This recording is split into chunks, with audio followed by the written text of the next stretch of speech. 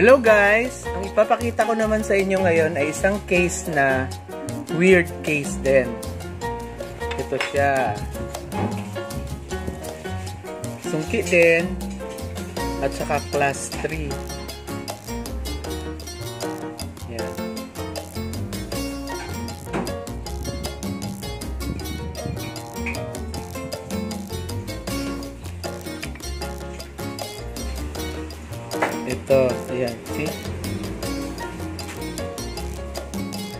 Yung kanyang apat na ngipin ay nakaloob. Ayan. Actually, ginawa ko na to. Kaso, binalik ng dentista kasi ang gusto ng pasyente daw ay ilabas itong dalawa. Ito ilalabas. Gaganyan. Kaya tingnan natin kung ano itsura pag inilabas natin yan.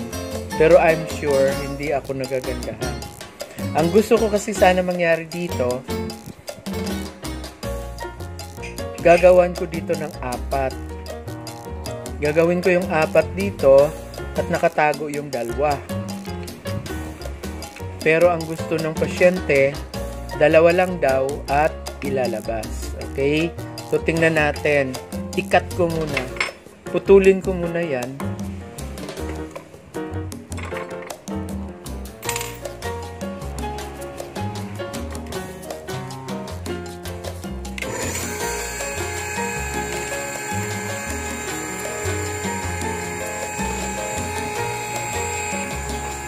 Okay? So, putulin ko to, ikat ko to. Putulin ko yan. Kasi di ba ilalabas natin? Putulin.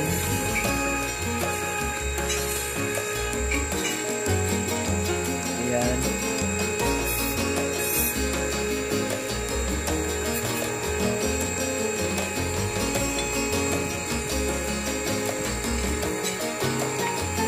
Tapos, ilalabas natin. Igaganyanin natin, ganyan. Yan. Gaganyanin natin. Kasi yan daw yung gusto nung pasyente.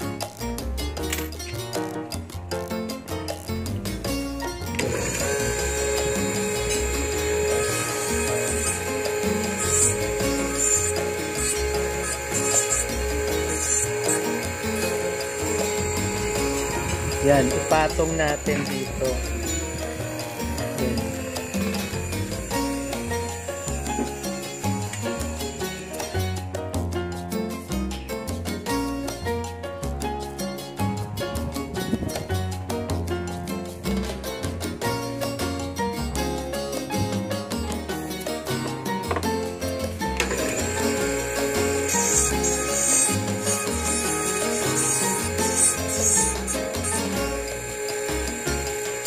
Bawasan natin. Kasi ang gusto ko mangyari kasi ito medyo naka-butterfly. Medyo naka-butterfly.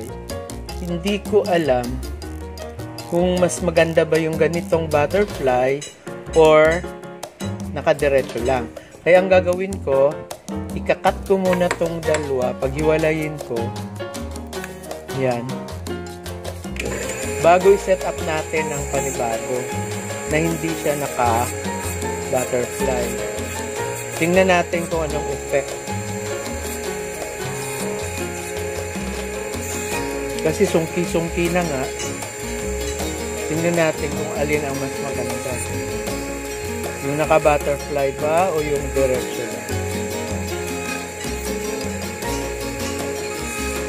Okay.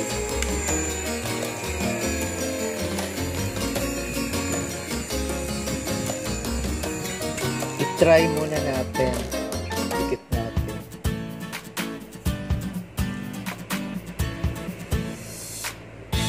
Diretso lang.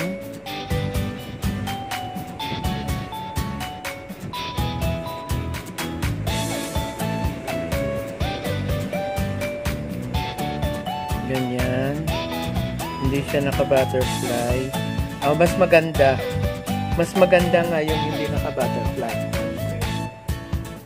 So, yung hindi na lang naka-butterfly gagawin natin.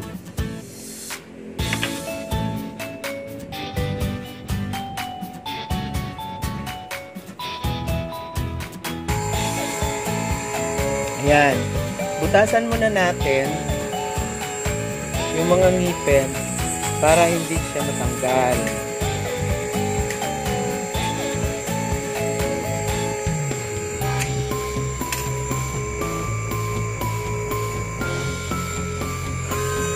Yan, butasan natin.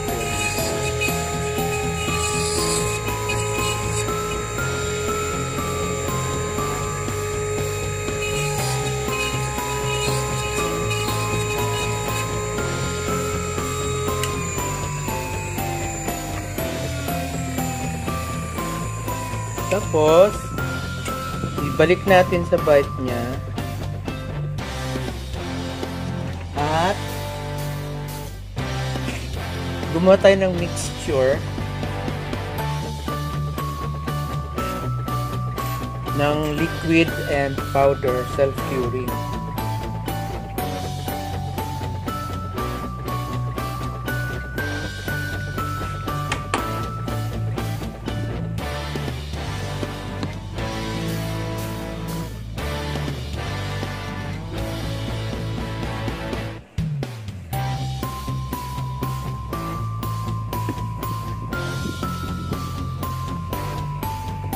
Yun yung powder at saka yung liquid.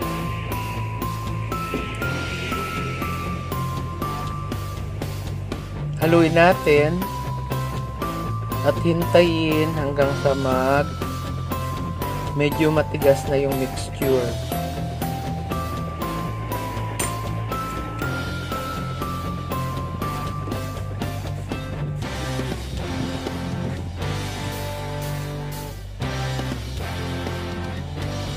Basahin natin ng liquid.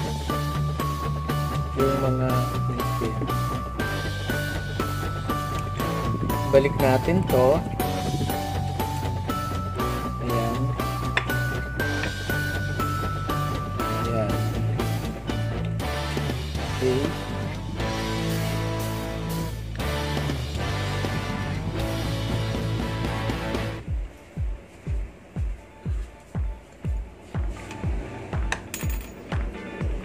medyo matigas na.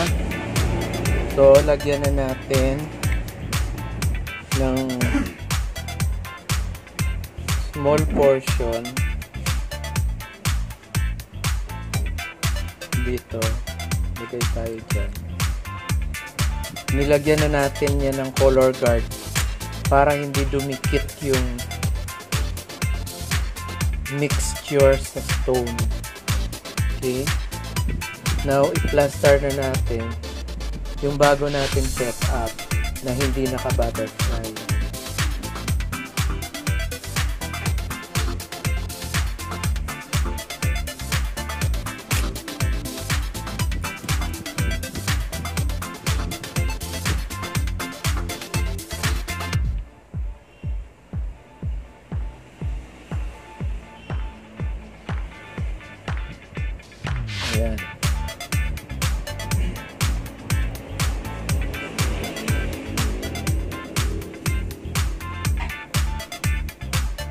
Mapapansin nyo, ito mahaba. Pero mamaya, papantayin natin yan.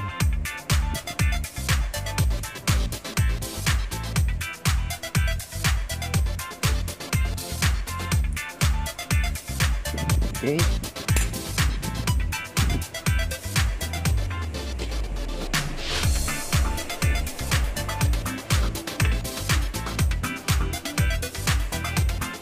Dikit natin na okay.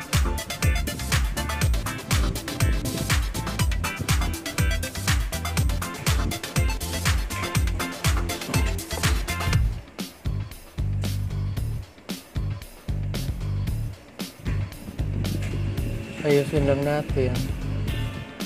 Plaster natin ng maigi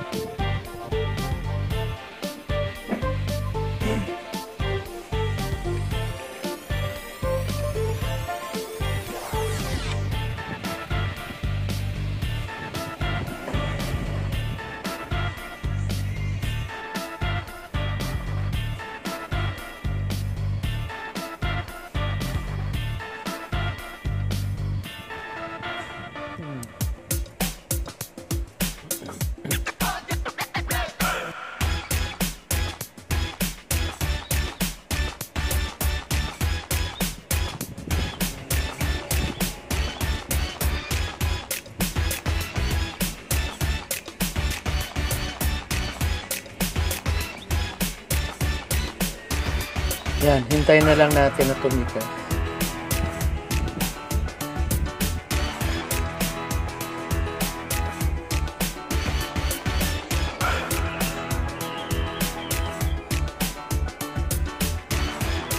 Okay, hintayin natin na tumigas. Ayan, matigas na siya. So, tanggalin na natin at bastasin na natin yung mga excess.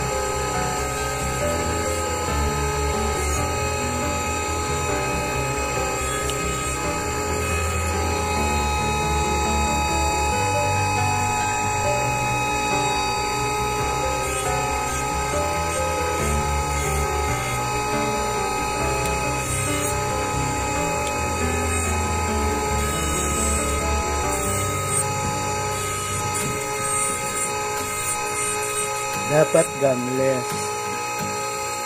Walang pink.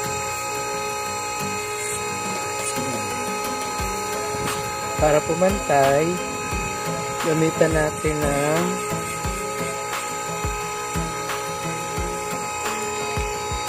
metal disc.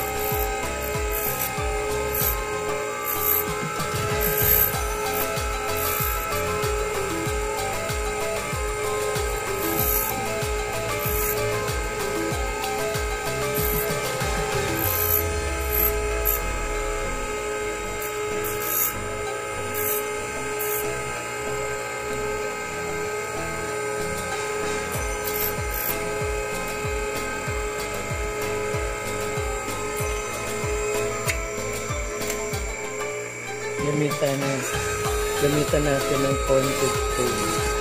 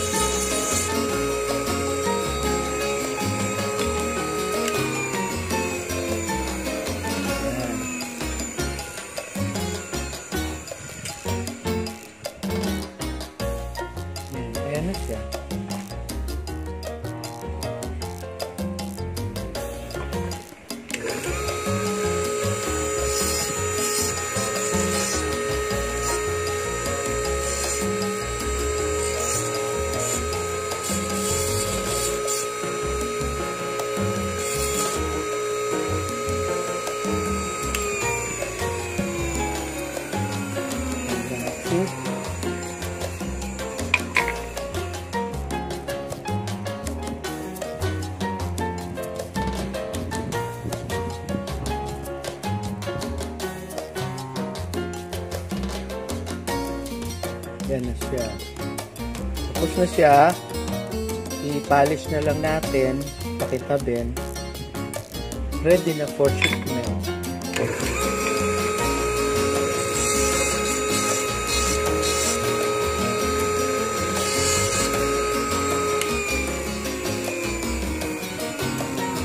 Okay, thank you guys. See you. God bless.